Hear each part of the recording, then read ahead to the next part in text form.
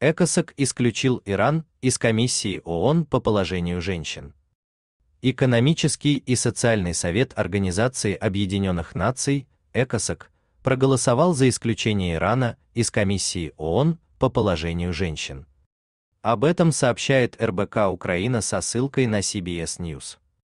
Голосование по проекту резолюции, подготовленному США, было 29 против 8 при 13 воздержавшихся в среду, 14 декабря. Стремление исключить Иран было инициировано штатами в ноябре после того, как по всей стране вспыхнули протесты после смерти 22-летнего Махсы Амини, задержанного полицией нравов. Решение ЭКОСОК об исключении Исламской Республики Иран из комиссии ООН по положению женщин государственный секретарь США Энтони Блинкен назвал безошибочным сигналом поддержки со всего мира мужественному народу Ирана.